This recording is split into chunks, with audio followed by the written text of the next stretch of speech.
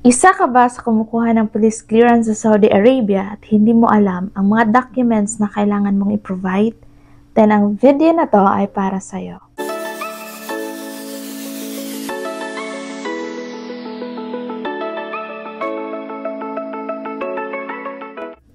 Hello mga boss! Welcome back to my vlogs. It's me again for Pinay Vlog.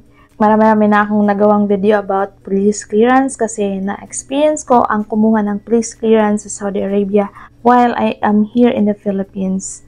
So ngayon, isi-share ko sa inyo kung ano yung mga documents na kailangan mong i-provide to get police clearance in Saudi Arabia kahit nasa Pilipinas ka na. Number one is apostilled sunrise fingerprint. Number two is apostilled SPE with CANA. So, yun yung dalawang documents na yan ang kailangan mong email sa iyong representative kung meron ka ng representative sa Saudi Arabia. So, kailangan mo din ang supporting documents kagaya ng number one is ikama. Number two is old passport. Number three is new passport. Number four is uh, visa stamp or visa entry. Yung sticker na nakadikit sa ating passport. Yun yung visa. Number five is uh, passport stamps. Yung mga kagaya ng paglabas natin ng Philippines is merong stamp doon ng ating passport. Pagdating natin ng Saudi is na-stamp yung passport natin. O dili kaya pag uwi natin, may stamp din. So, yun yung kailangan. And then, number six is exit or re-entry visa mo. Number seven is yung mga documents na na-issue ng Saudi kagaya ng kontrata or employment contract. So, yun ay mga supporting documents lang na kailangan mong i-provide. So, ngayon naman, sasagutin natin yung mga katanungan ng mga ilan-ilan or very important question uh, regarding this um, video. Ito yung mga tanong nila. Tatanong ko lang po, madam, wala bang problema kapag re-entry lang, hindi exit, makakuha pa rin ba ng police clearance?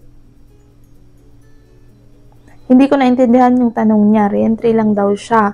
Hindi daw siya naka-exit visa, siguro. Yes, makakuha ka ng police clearance. Ang pagkakaalam ko, makakuha ka ng police clearance as long as hindi ka deported. Or as long as wala kang ginawang kasalanan sa Saudi Arabia. Next is, ma'am, need ko po ng police clearance from Saudi Arabia. Sa Jeddah po ako galing. Pwede po kaya sa Al-Kubar kukuha ng police clearance kasi may kilala ako doon na nagpa-process para sa akin. Sana masagot niyo po ang tanong ko. Salamat po, God bless.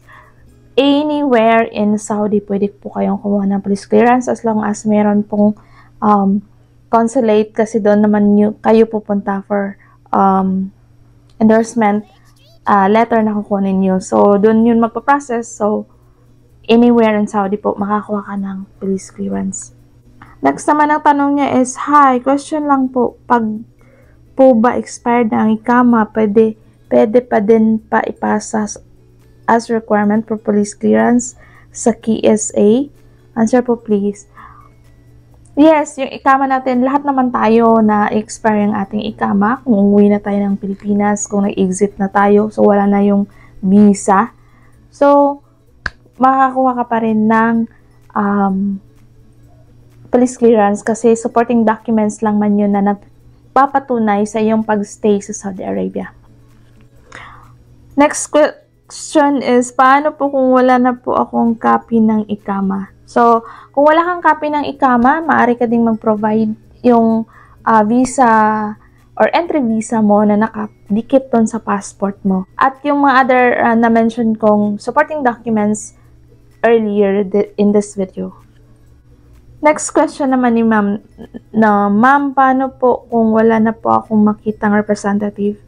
And then, kung wala kang makitang representative, merong mga agency or mga individual, kailangan mo lang talagang uh, maghanap, mag-research about them.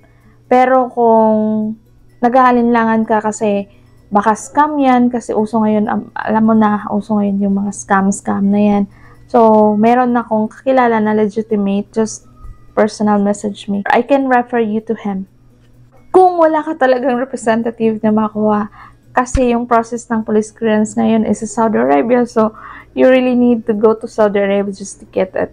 Pero hindi naman yun siya advisable na pumunta ka talaga ng Saudi. Meron talagang paraan. Kung mag magpunta ka na ng Saudi Arabia just to get it, then it's better na to you will pay someone else or an agency, mas lesser pa yung magasto mo kaysa pupunta ka pa ng Saudi Arabia para lang kunin ang iyong police clearance. Meron talagang paraan yan. Kailangan mo lang um, mag-research ng ways kung paano makakuha ng representative. So, yun lang mga boss, no? Yun lang yung ma-share ko sa inyo. Um, gusto ko lang tumulong. Gusto ko lang mag-share o magbahagi ng aking na-experience. So, disclaimer lang mga boss, no? Wala akong kinikita, wala akong share sa pag-refer ng ating mga kababayan sa isang representative or sa isang, isang agency. So, ito ay ginagawa ko lang po para makatulong. Nais ko lang po makatulong or magbahagi ng aking kaalaman or experience sa mga kababayan nating kailangan din ng police clearance kagaya ko. Maraming salamat. Thank you so much for watching.